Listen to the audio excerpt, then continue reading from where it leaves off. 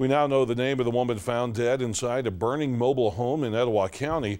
Authorities have identified the victim as 69 year old Linda Hale of the Ballplay community. A neighbor called 911 around 1030 Tuesday morning to report the fire at 2800 Turner Road in Hokes Bluff. Authorities are awaiting uh, autopsy results to determine exactly how Hale died.